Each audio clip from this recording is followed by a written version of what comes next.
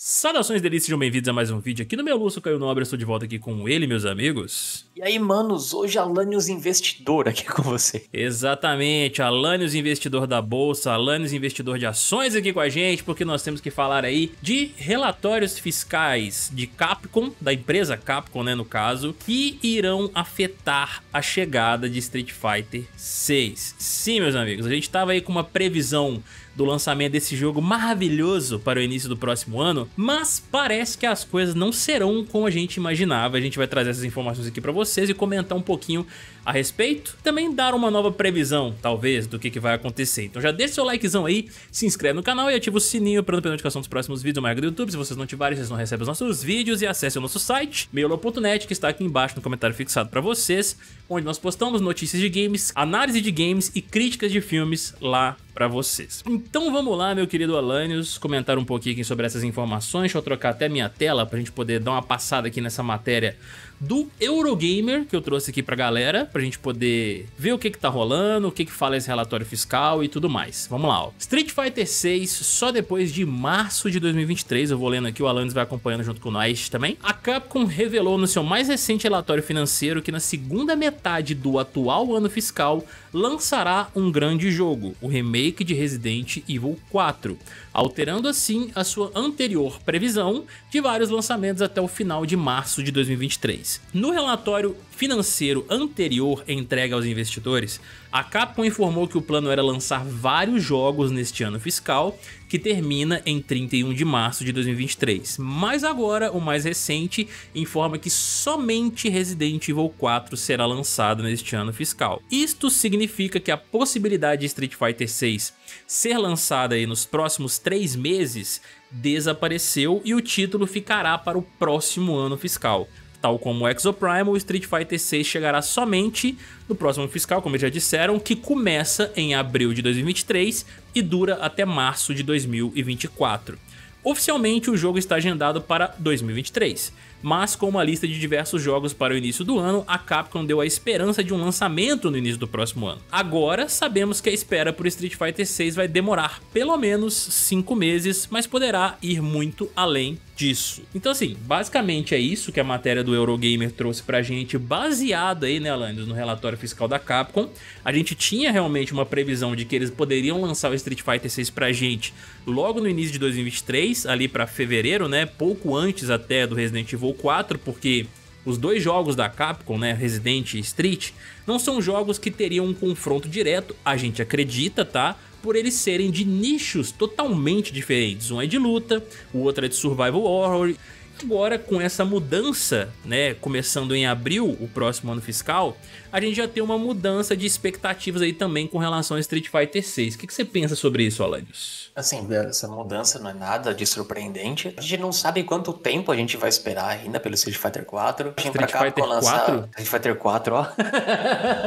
isso dá margem para que a Capcom lance betas abertos de Street Fighter 6, testes de rede, talvez a gente tenha bastante coisa ainda para acontecer. No entanto, o que, que a gente tem de, de, concreto é o precedente de lançamentos da Capcom, né? Tirando Super Street Fighter 2 e Street Fighter 4, nenhum outro jogo do Street Fighter saiu depois do meio do ano. Então, Street Fighter 4 saiu em julho, Street Fighter 2 saiu em fevereiro. E para não falar que eu não citei, o primeiro Street Fighter foi lançado em agosto. No entanto, dos títulos principais, vamos falar assim, ó, Street Fighter 2, Street Fighter 3 foram lançados em fevereiro. Street Fighter 5 foi lançado em fevereiro Super Street Fighter 4 foi lançado em abril e Ultra Street Fighter 4 foi lançado em abril. Então a gente tem aí uh, um precedente legal de jogos que foram lançados antes do meio do ano. E pegando o precedente ali do, das últimas atualizações do Street Fighter 4, pode ser que esse jogo não venha realmente aí competindo com, com Resident ali antes, mas ele pode vir no mês seguinte. É, afinal de contas, né, a Capcom não falou nada a respeito do relatório fiscal que vai aí no período de 2023 até o primeiro semestre de 2024. Então a gente tem ainda a chance de ver esse jogo antes da metade do, do ano que vem. O que eu entendo é que isso deva ter sido consequência né, de vendas e tudo mais. E eles ganham tempo também para fazer vários testes online e tal, fazer um teste em massa né, com beta. A gente viu que no beta fechado teve problemas com o servidor, dá mais tempo para eles fazerem testes e fazer um monte de coisa, né, Caio? Pois é, cara, eu também acho isso, né? A gente já teve um beta do Street Fighter 6 acontecendo aí na época da Brasil Game Show, inclusive, quando a gente tava lá, no início aí de outubro. Eu acredito que eles vão trazer sim mais betas desse jogo. Não sei se eles já trarão betas abertos logo de cara, mas pode ser que eles tragam mais um beta fechado, por exemplo, com os outros personagens que faltaram, que foi o Dawson, o Honda e o Blanca, né? Que eles já foram anunciados, mas não entraram nessa última build, somente o Ken. E aí, mais pra frente um pouquinho, eles devem fazer esse teste de beta aberto também, eu acredito, pra poder englobar todos os jogadores de todas as plataformas, para que eles possam testar até mesmo os recursos de crossplay, que a gente conseguiu testar um pouquinho, né, nessa beta fechada aí, mas somente das pessoas que receberam as chaves e tal, que eram limitadas, vamos dizer assim. Com um público mais abrangente, eles conseguem mensurar a carga desse servidor com base em mais pessoas ali jogando e tudo. Então, eu acredito que eles vão sim traçar uma estratégia nesse sentido, agora que pelo menos com base nesse relatório fiscal aqui que a Eurogamer passou pra gente da Capcom, o jogo deve chegar mesmo só a partir de abril em diante.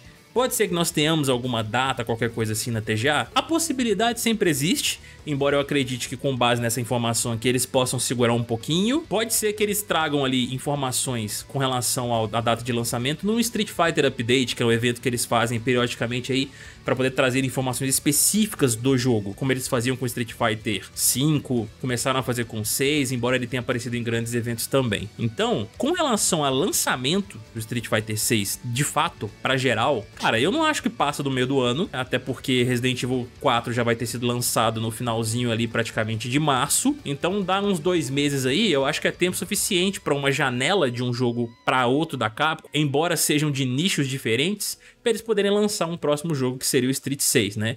Além de que nós temos Exoprimal nesse pacote aí, que eles ainda devem anunciar a data de lançamento, essas coisas. Mas o bom é que eles devem trazer sim algumas betas ainda para nós, Alarios, pra gente poder curtir. Eu fiz uma pesquisa rápida aqui no site da PSX Brasil. Eles colocam um link aqui pro resultado financeiro. Eu fazendo uma busca por palavra aqui, eu achei a menção ao Street Fighter 6 em cima de jogos que eles falaram que eles anunciaram para 2023. Existe, né, uma consequência para uma grande campanha para o lançamento do Street Fighter 6 e tal, que está programado para ser lançado em 2023. Mas não tem data nenhuma. Né? A gente tem ainda uma situação em aberto. A gente ainda não tem certeza de nada. Isso é só isso que eu quero passar aqui para vocês. No entanto, fica né, a minha expectativa de um lançamento em abril, então, quando seja batido esse martelo de não, nenhum jogo mais vai ser lançado nessa data. Pois é, cara. A Capcom ainda pode surpreender a gente. Isso aqui é uma possibilidade, como o próprio Eurogamer fala. A Capcom pode acabar aparecendo aí e gente, então, nós vamos lançar em fevereiro mesmo, tá? É isso aí. Então, meus amigos, vamos aguardar aí por mais informações. Devemos ter trailers de Street Fighter 6 muito em breve para poder anunciar mais personagens. Tem uma lista enorme ainda de personagens que não foram anunciados, com base naqueles 18 que foram confirmados de início pro jogo, né? E a gente tem só alguns, mano, ali. Tem ainda mais uma metade para poder ser anunciado. Então, a gente quer saber a opinião de vocês aí agora, o que vocês acham de tudo isso que foi falado aqui, com relação ao relatório fiscal, com relação ao lançamento de Street Fighter 6, quando que vocês acham que esse negócio vai acontecer de fato e com relação às betas também. Deixa aí o seu likezão, meus amigos, mais uma vez, poder dar essa força pra gente, se inscreva no canal e ativa o sininho para não perder notificação dos próximos vídeos, beleza? Vamos ficando por aqui, um beijo pra todo mundo aí, até mais... E... Vamos!